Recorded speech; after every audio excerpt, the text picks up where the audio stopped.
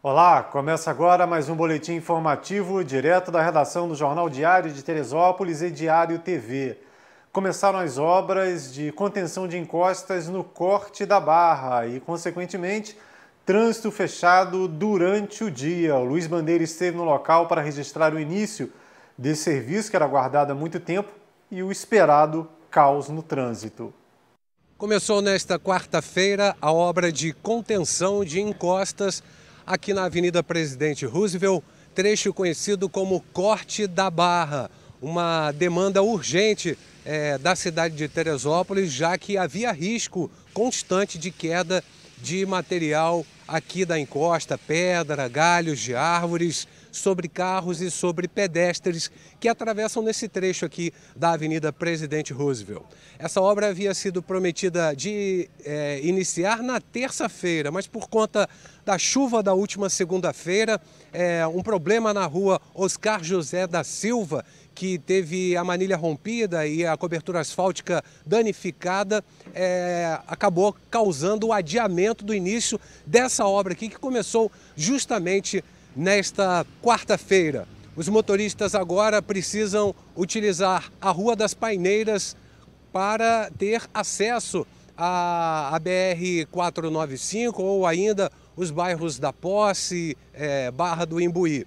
E também no sentido oposto, quem vem da Serra de Petrópolis, de Itaipava, no sentido Teresópolis, também tem que utilizar a Rua das Paineiras. Opção também a Rua Oscar José da Silva, que já foi é, consertada, né? já foi feita a manutenção da rua, o, o, problema foi resolvido, é uma opção também. Os moradores que conhecem essa, essa via importante sabem que é um bom acesso, uma alternativa para chegar ao centro da cidade através do bairro de Pimenteiras. Então, você está acompanhando agora, então, aqui na Diário, o início das obras é, de contenção do corte da barra. Nossa equipe flagrou na Rua das Paineiras carros e até um caminhão estacionados, dificultando a passagem de veículos nos dois sentidos, sobretudo no trecho mais sinuoso da via. Calçadas ocupadas por carros tornam a passagem de pedestres pela Rua das Paineiras arriscada. Uma senhora com dificuldades de locomoção reclamou da mudança do ponto de ônibus. Ali que eu parava, o motorista parava até ali para mim. E agora a senhora está mais longe? Está mais longe para mim andar. E assim mesmo, eles não têm educação, o motorista, que eu vou lá reclamar. Estou reclamando com o senhor aqui. Que ele ainda ficou de malcriação comigo. Eu falei, motorista, espero que eu não possa andar depressa, eu tenho que saltar devagar. A senhora tem dificuldade para andar, né? Isso aí. Eu vim do, do médico, eu fui lá no Semus agora para é, ficha para mim. Ah, o motorista não tem paciência, não. Com a pessoa que tem de moleta, de cadeira de rodas. Acha que tinha que ter um ponto mais perto? Ah, tinha que ter um ponto ali para gente ali que tem moleta. Eu ando de moleta, eu moro ali.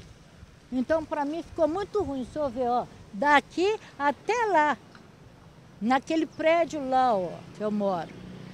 Ficou muito ruim para mim.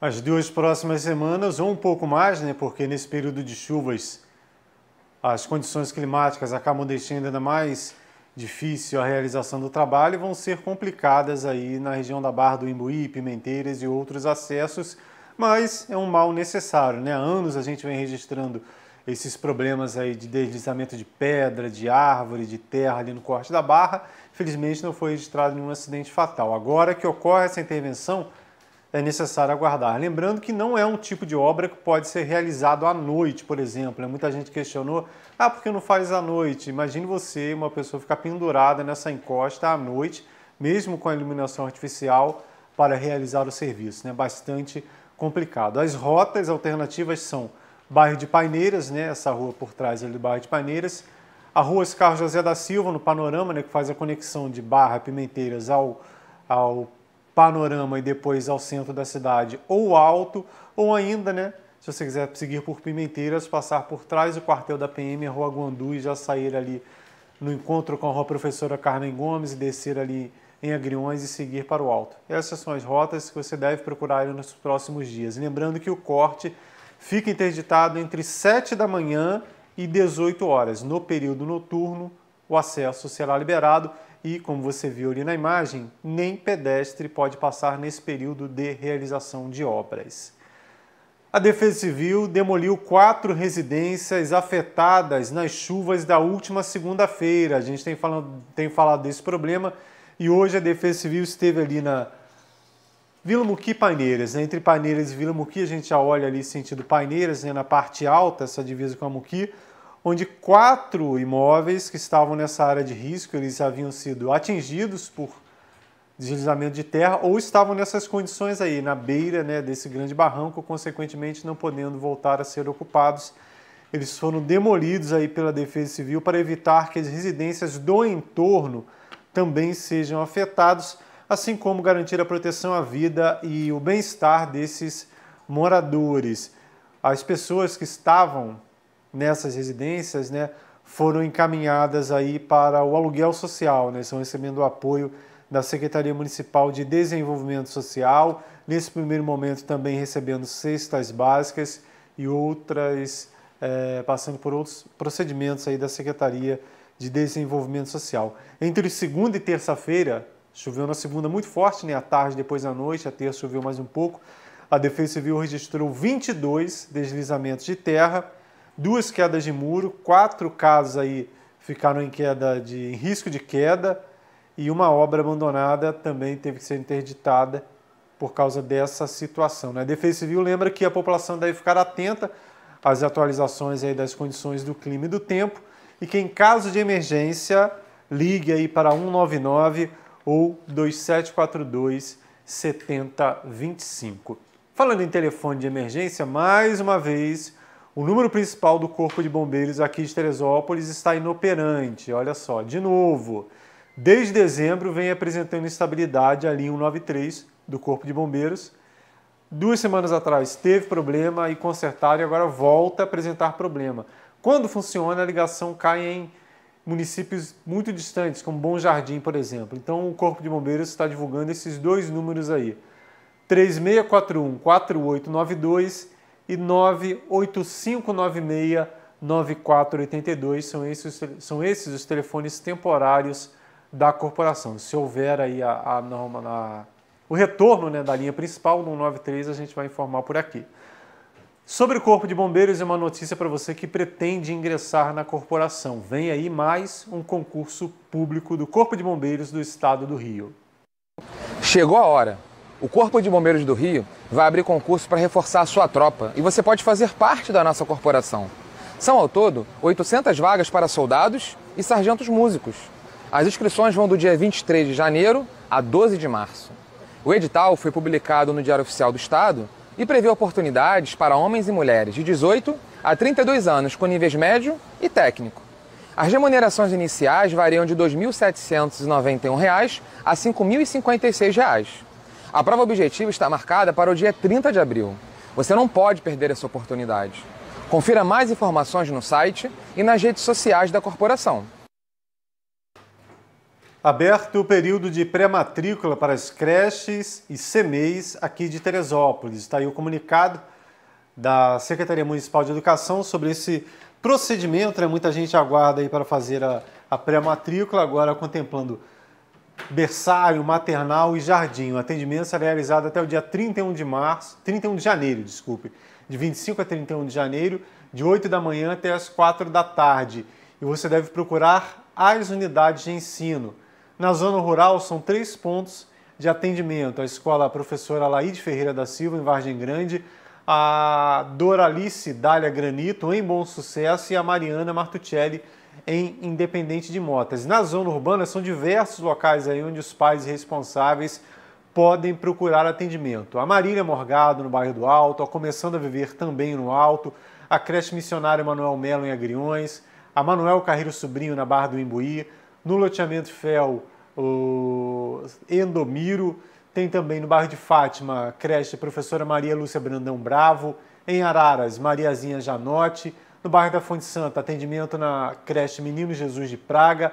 E ainda, olha só, Fonte Santa, Rosália Martins de Lima Silva, no Meu Dom, a Sempre Viva, no bairro de Pimentel, a creche Amor Perfeito, em São Pedro, Oscar Lobato, a creche de mesmo nome. E ainda aqui os dois últimos endereços na zona urbana. Creche Municipal Paraíso e na Várzea a professora Elza Corradini Medeiros, em atendimento na zona urbana. São vários documentos aí que você deve apresentar para fazer a pré-matrícula e você vê mais detalhes sobre esses documentos exigidos na próxima edição do Jornal Diário de Teresópolis ou em nosso site. Sobre escola da rede municipal ainda, você viu no fim de semana, na edição de fim de semana do Diário, uma reportagem mostrando que a obra do Lino Oronha, que já se arrastava há muito tempo, havia parado de vez. Né? Esse assunto teve bastante repercussão e o SINDPMT, o Sindicato dos Servidores Públicos e Municipais, fez uma vistoria nessa escola pública que há muito tempo está fechada. Né? Essas aí são imagens divulgadas pelo SINDPMT mostrando essa vistoria à Escola Maçom na subida do bairro da Tijuca. Lembrando que essa obra está parada há dois anos, né? se arrastando há dois anos essa obra. O SINDPMT lembra que foi buscar a verdade sobre o assunto e apurou que a obra foi suspensa e depois voltou devido a um pagamento que não havia sido realizado.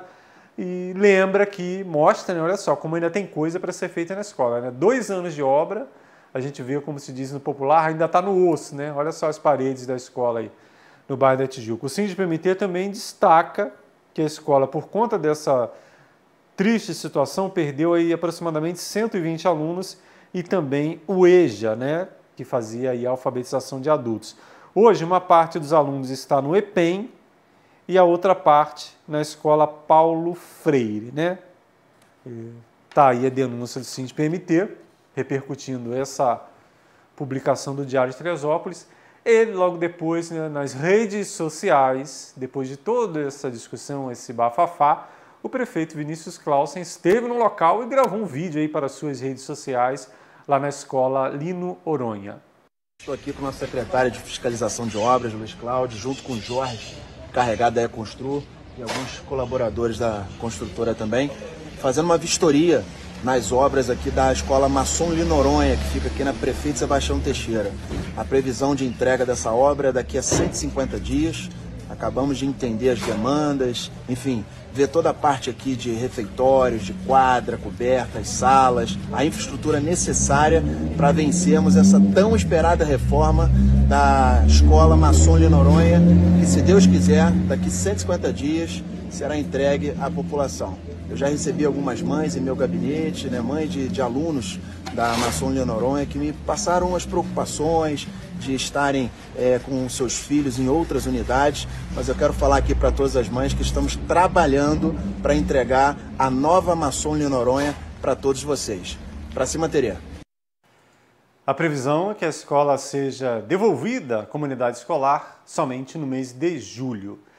A Guarda Civil Municipal realizou nesta quarta-feira a pintura de novas faixas para pedestres na região central do município. A primeira ação foi realizada aí na Avenida Lúcio Meira, em frente aí a um, a um supermercado famoso, né, um antigo parquinho, onde havia uma grande demanda, um grande pedido aí de, de pessoas né, que atravessam do supermercado para esse ponto de ônibus, do ponto de ônibus para o supermercado e por diversas vezes, inclusive, registramos aí, acidentes, aí, principalmente, principalmente envolvendo pessoas idosas nesse local. Além da faixa de pedestre, que é uma faixa diferente, né, termoplástica, foi pintado, você viu um pouco mais acima, o sonorizador, né, que o motorista vem, o carro passa, ele vai percebendo, recebendo um alerta né, quando o carro passa que precisa reduzir a velocidade, porque há um ponto de travessia. Além desse trecho aí da Avenida Lúcio Meira, recebemos informação que o mesmo tipo de faixa será pintada aqui no início da rua Djalma Monteiro.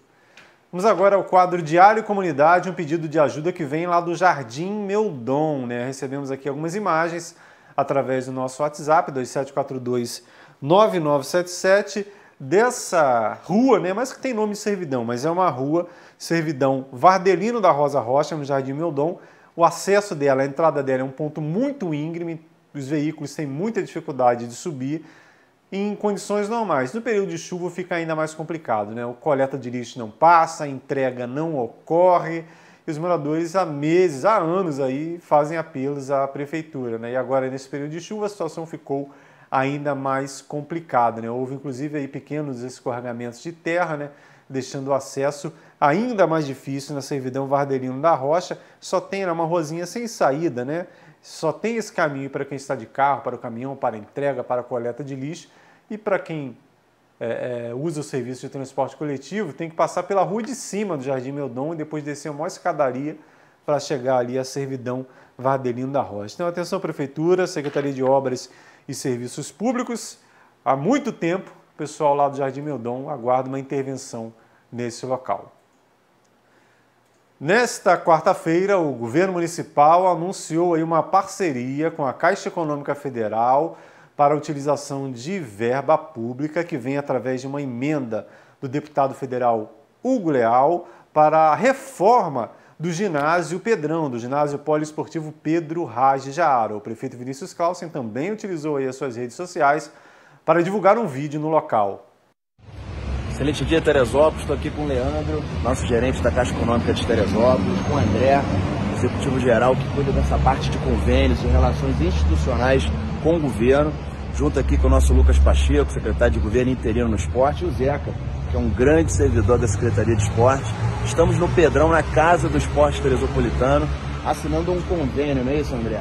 De uma emenda parlamentar do deputado Hugo Leal, que no ano passado sinalizou essa grande oferta, essa grande proposta de reestruturação do, do nosso Pedrão.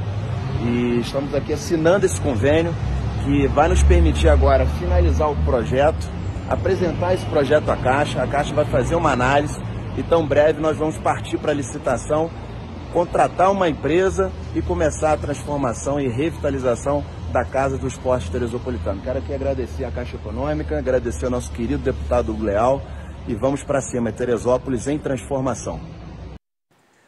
O esporte é um grande caminho realmente para a mudança de qualidade de vida, da sociedade de um modo geral. E aqui na cidade temos aí é, atletas se destacando em diversos esportes em uma área mais adequada, uma área com mais é uma área mais moderna, né? inclusive esse é o projeto que previsto aí para o Pedrão, é fundamental para que esses atletas possam aí é, depois alcançar aí é, espaços aí conquistas maiores, né? Tem jiu-jitsu, tem capoeira, capoeira tem é, atletas de loca locais aí dando aula na Europa há anos, e o jiu-jitsu local tem atletas nos Estados Unidos, na Europa, tem no Oriente Médio entre outros esportes aí onde os teresopolitanos são destaque. Né? Esperamos que realmente venham esses e outros recursos aí, porque é melhor a gente dar notícia aqui de um jovem teresopolitano que brilha no esporte do que esse retrato diário de tantos jovens aí se perdendo aí, se envolvendo com tráfico de drogas e outros delitos. Fechando esse boletim informativo com uma imagem muito legal, mais uma do acervo aí para memória do Vanderlei Pérez, né? Olha só que foto legal, que foto impressionante. Talvez você não saiba, né? Quem é teresopolitano de verdade sabe que já, a gente já teve acesso aí por linha férrea, né? Pelo trem. E hoje o Vanderlei resgatou essa imagem aí, muito legal. Ele tinha essa foto aí, essa imagem em cartão postal e agora conseguiu a foto original, né? Com mais qualidade, mostrando aí o registro, é um registro único, né? De três composições de cremalheira em uma parada ali na subida da serra, né? aquele trechinho de estrada hoje. Né? Essas máquinas subiam e desciam a montanha com um ou dois vagões que vinham em composição única puxada por outra máquina de plano, desde Piedade até Guapimirim. Né? Informa Vanderlei destacando aí que era uma aventura viajar para Teresópolis, e era mesmo, né? subir de trem essa serra espetacular, inclusive na história do montanhismo, aí nos primórdios do montanhismo, quando os montanhistas vinham do Rio de Janeiro aí para escalar o Dedo de Deus, Escalavrado e outras montanhas aí que têm acesso pela Rio Teresópolis, como não havia parada, né? Ah, não vou parar o trem aqui para você descer. Não dá, o trem só parava no bairro do Alto, ou seja, teriam que voltar uma distância muito grande. Os montanhistas pulavam do trem, isso mesmo, jogavam a mochila em um local mais tranquilo, né? um capinzinho mais tranquilo para pular, jogavam a mochila e depois saltavam do trem para poder escalar essas montanhas aí, as margens da Rio Teresópolis. Né? Você pode acessar a página do Vanderlei aí no Facebook, que tem essa e outras imagens aí de história, históricas, não só de Teresópolis, mas de toda a região, que tem ligação aqui com o nosso município. Essas e outras notícias você vê em nosso site, que é o netdiario.com.br. Se houver qualquer novidade, atualização antes de um próximo boletim informativo, tem também a barrinha de notícias e as nossas redes sociais, que são Facebook e o Instagram, você vê imediatamente ali essas chamadas. E para você que acompanha nosso trabalho aí pelo YouTube, não deixe de se inscrever em nosso canal. Clique lá no sininho e fique sempre bem informado. Até breve!